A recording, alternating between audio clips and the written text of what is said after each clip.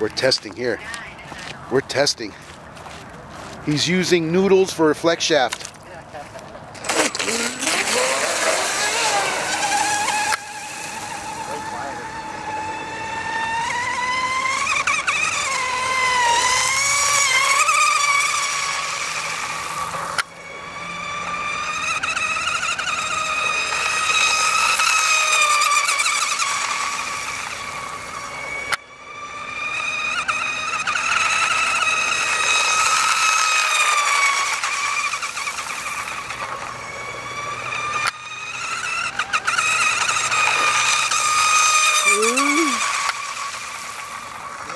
By now?